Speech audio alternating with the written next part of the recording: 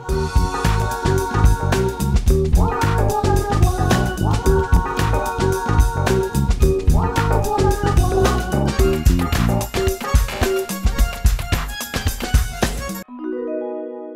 everybody. Happy New Year. Happy New Year, everybody. So here we are in this weird time in Brooklyn Bay Ridge, the land of the Lenape people. The Lenape, an offspring of the Algonquin civilization, spoke Munsee. All of us here remember, reflect, mark, resist, persist, assist to combat erasure. And today, also and especially here at the Poetry Project, we are thinking of a great, great friend who traveled out of the Styrian life form recently. The great Lewis Warsh. Here is a poem for him and through him. I found no crepes in Lewis Warsh's poems, but here's some of what he says about food. I want to go to a restaurant where the waiters call me comrade. Won't order any new food in restaurant for fear I won't like it. Order only what I like. Another ruined evening. The guy pointing the gun at the side of my neck was sucking on a lollipop. The restaurant turned me away because I wasn't wearing a jacket and tie. In the fairy tale, a wedge of cheese falls from the beak into a puddle. An empty bottle of soy sauce alongside a can of warm beer. It's still dark out when I drink my first cup of coffee. I keep the salt on top of the icebox along with honey and a bottle of cognac. Lunch is served soup with kumquats, mixed seafood grill with bouillabaisse sauce, root ravioli, and chocolate chip cookies. The father buys his son a bar of chocolate for the ride home. There used to be a restaurant around here where you could sit for hours over a cup of coffee. A single drop of rain explodes on the windshield. My father drinks coffee from a red thermos to stay awake. I cut the food into tiny pieces and arrange them on my father's plate. Biting the hand that feeds you turns out to be no fun. Some mornings cold soup makes a natural environment. The food in the icebox, the books on my shelf. Tantalus serves the body of his son Pelops to the gods. It's rare to find someone who's willing to share food with you. The words mean more than you say, a meal ticket to instant happiness.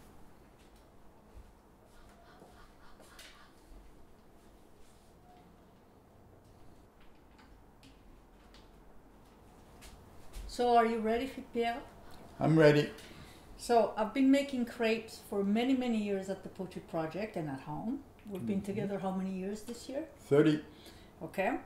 And um, we always talk in the family, we are making crepe.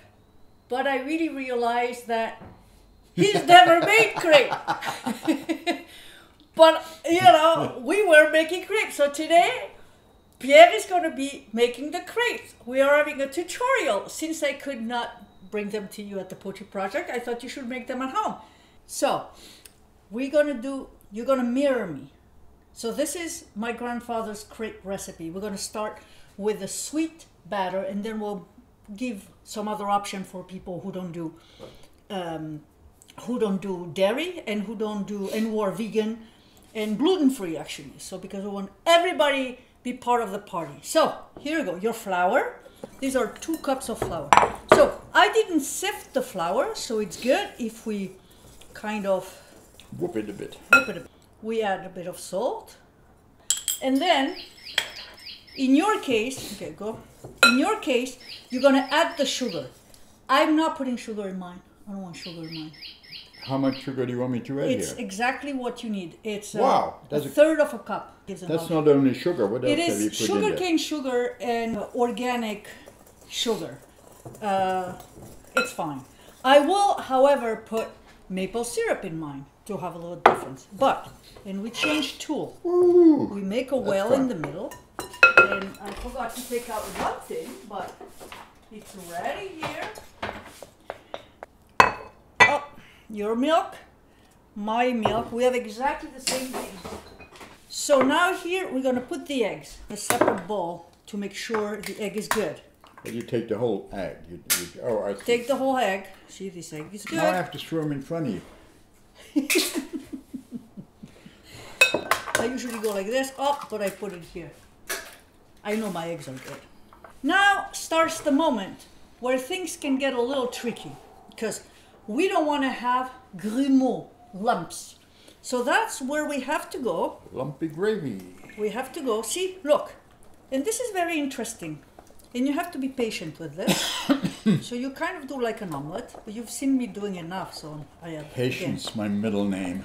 too. And that is going to depend if your eggs are extra large or not large. But once you see that it's starting to be a bit thick, Yeah. then You add some.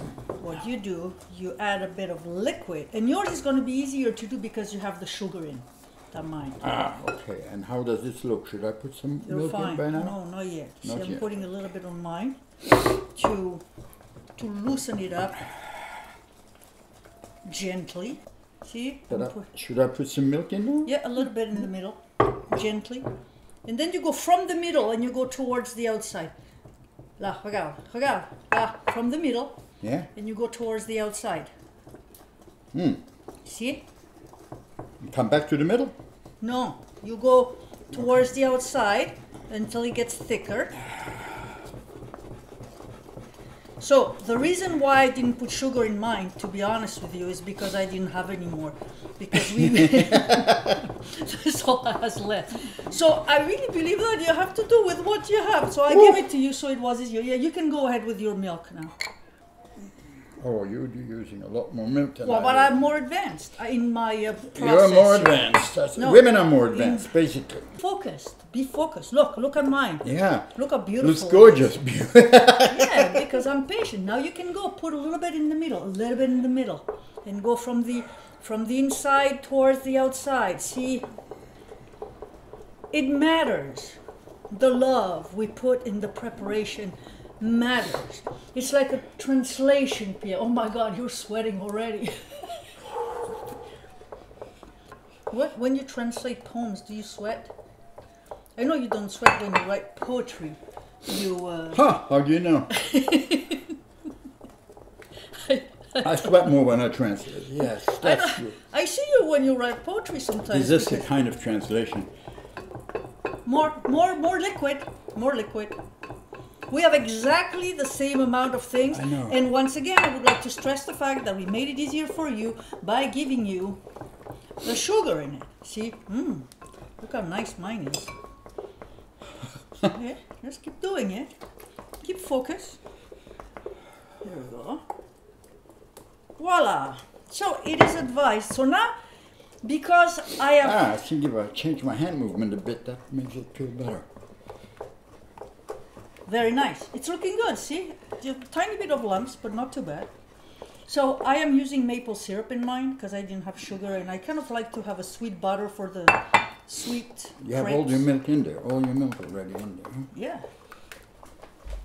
Now, All the milk will have to come in here, right?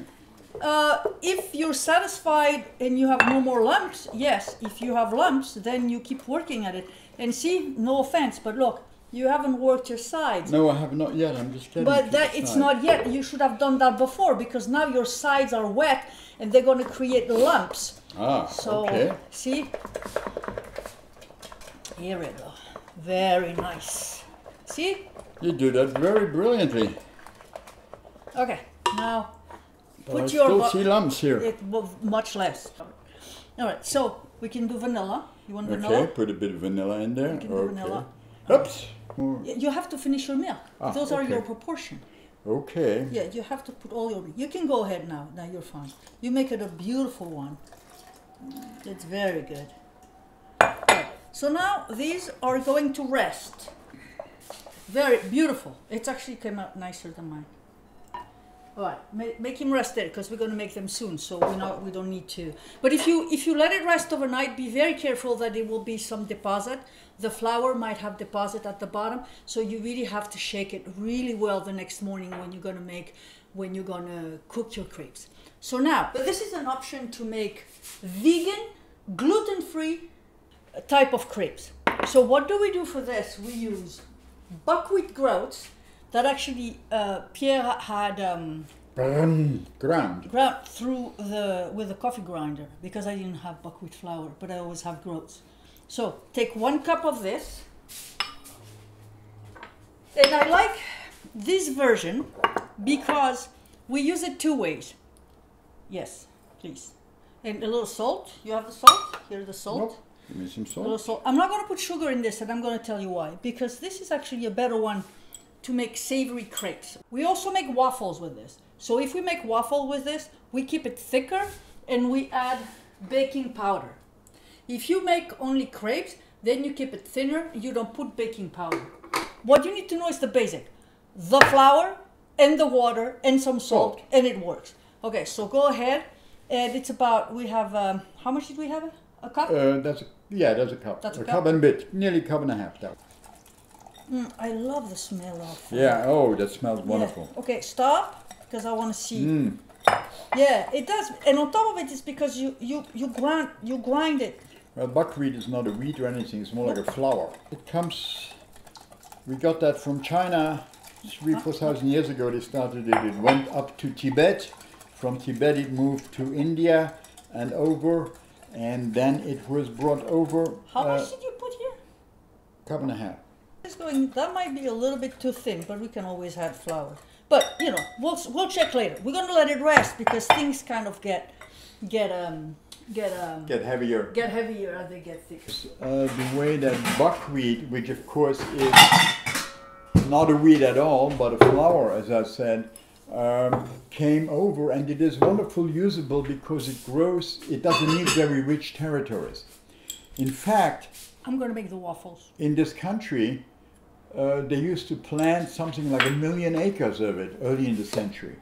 And then when they got uh, nitrates, i.e., you know, uh, fertilizer, uh, that was very bad for it. And they replaced it with crops that grew better with nitrates. And buckwheat now is 60,000 acres or something of that order, but growing again, given that uh, people are beginning to use it again. So it's fascinating. It clearly was also, to some extent, a poor man's. Uh, I know in my country, in Luxembourg, it's in the northern mountains, in the in the poor places, where buckwheat was grown and used. We didn't use it as pancakes. In Luxembourg, they, they made it as thick kind of uh, quenelle type type type Ah, things. like um, Stäerzelen, they, like they, uh, they like called them spätzle. like Spätzle. Yeah, I have done that, it. That, that kind of thing. What is fascinating, and uh, I got confused when I was reading up on it. There is an, um, uh, the French, of course, were the ones who uh, started making this kind of pancakes in Brittany in the 13th century, and so this was this was very interesting.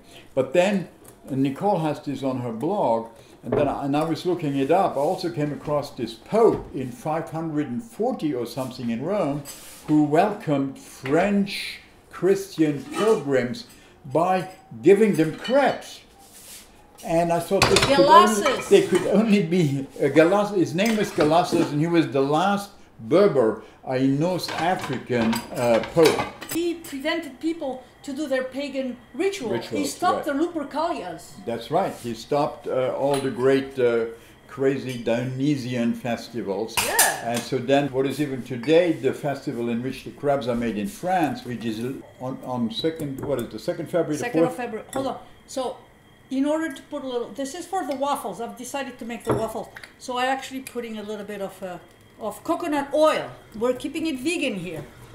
So uh, I was confused because I said, no, buckwheat comes later. Buckwheat comes in the 14th century, was known as Saracen. It's still known as Saracen in French, mean Saracen, that is, uh, it was brought, it came from the Crusades, so it was, it's also called what? Moor? Uh, no, in Occitan, in they call it Black de le, donc Moor flour. The, the, yeah, the Moorish flour. Uh, so that could only have come then, which means that in 548, under the Pope, they must have used actual wheat already uh, to make those, uh, uh what he offered the French pilgrims. Anyway, they went home, and 700 years later, uh, no, yes, nearly 700 years later, they actually came to Saracen, to so, buckwheat. Now, we're doing the vegan waffles that will also be doing the vegan crepe. Here we go. See? And this, I think I have two cups. That would make about two big waffles. And we often do that for, um, I'll show you a little presentation later, for uh, Sunday brunch. So now we're going to cook the crepe. So those are regular crepe. We're going to melt some butter. Very slowly. Way of putting our butter on these pans here to warm them up. Do you have your batter, Pierre, ready? Your batter. batter. So here, what I like to do is this. It's actually melt the butter and put some butter mm. in the batter. Butter in the batter, butter in the batter. Here you go. So, um, now you gotta make sure your pan is really hot. So you gotta watch first. I will do that. if you use a Teflon uh, Teflon, pan, yeah. I mean, kind of this coated pan, be very careful the kind of utensil. Do not use iron mm -hmm. because this is really proven. Really plastic. Use a uh, what, but they not the one, not plastic. It's actually the one that are that don't melt. You know what I mean? It's called. It has a name. So here we go. Pan has to be really hot, and then you make sure you have, you know about the exact amount you need. Because you go from the middle and then, see, and you have to have this wrist action because you don't want to put a hole in the crepe. Mm. There you mm. go. So, and then you have to manage the fire. Gerrit Lansing. Gerrit Lansing poem, yeah. Problems of poetry, same as those of the alchemists. That's in Seth. That How to about. manage the heat. Yes. So, careful. So now it's dry, and the, you can see the around. Ah. There you go. Perfect.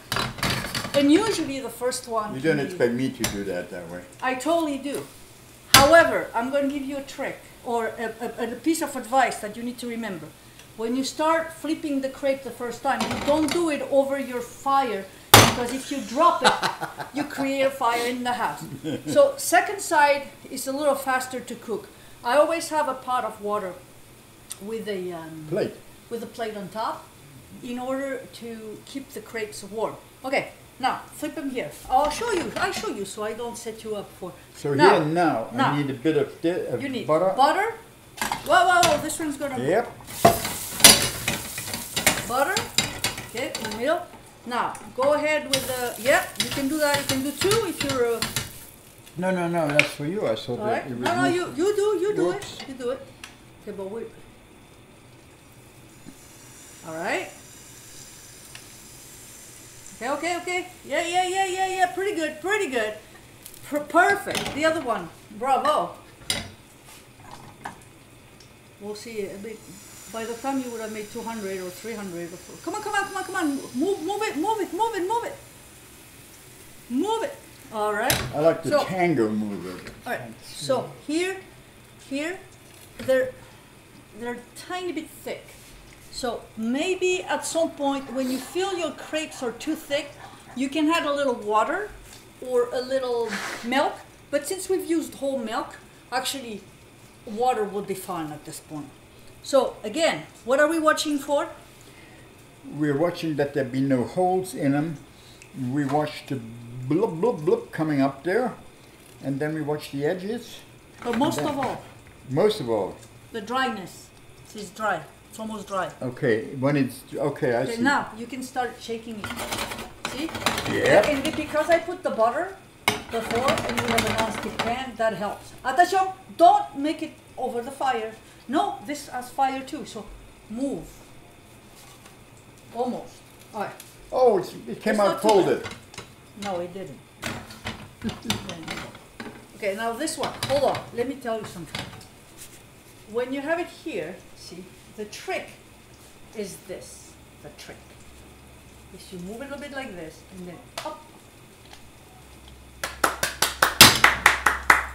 Can you do the What's- next 25 to, so I can see really well? Okay, turn around. All right, good. Was not totally ready yet. Ah, it's fine. It's yeah, it could have been a little better, a little more. But it's because it was a little too thick. Ooh, my waffle! Your waffle, my God, your waffle, your My waffle. waffle. All right, so there's my waffle.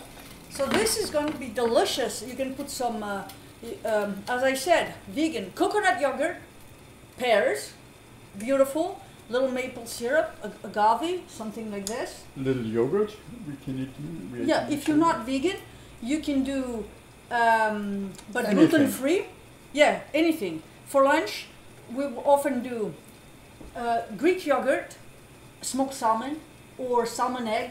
That makes a really beautiful brunch. And a poached egg, magnifique. magnifique. Weekend brunch. Weekend brunch. Yeah, yeah. But I won't get to tell all the stories about crepes, can I? Will I? Yes. It comes from Latin crispus, which means kind of crinkly, crunchy with edges. What is interesting to me in that is that uh, when you flip it up like that, this one came down the wrong way. Attention, not over the fire, I told you. Yeah, it goes up as a crisp in Old French, une crespe. It comes down as a Please, crepe. w- pay attention. This is a fault. That doesn't work. Please, this is messed up. Okay. Imperfection.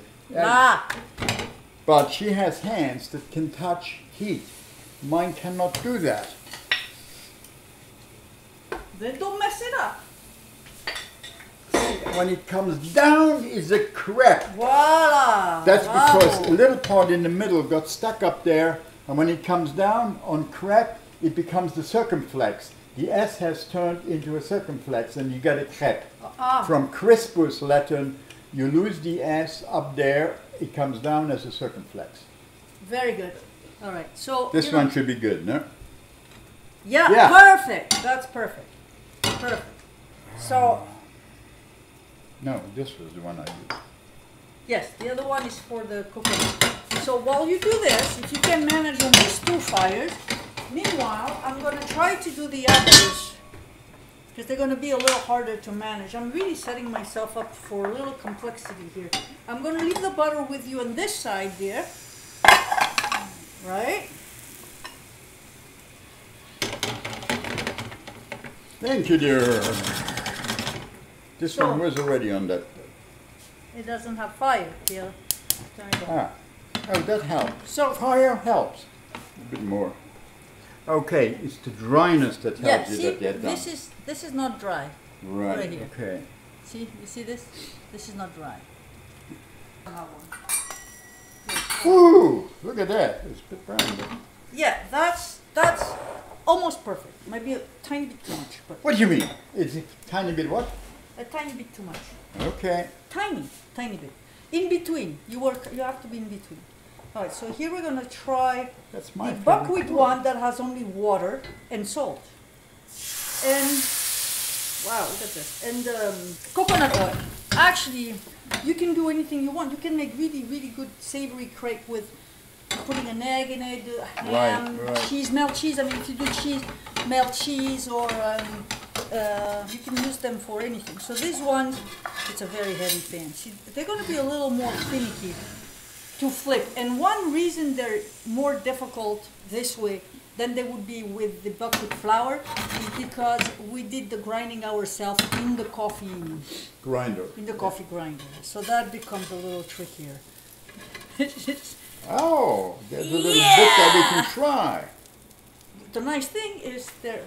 Wow, you really you're a master. See. No, you're the master. No, I mean it's just I'm really impressed. You're really doing it really well. I love the map that these make. And this is like geological maps. These are caustic crepes. Where are the crepes? The crepes are here. So now, my very favorite way of eating and dressing crepes is this one. Take a crepe and you take sugar. I'm using powder, which is fine, but the powder sugar makes it pretty, actually. And then, what I really like with it is this lemon. You fold it nicely, and then you do this. Ah, that's that's where the powdered sugar looks beautiful.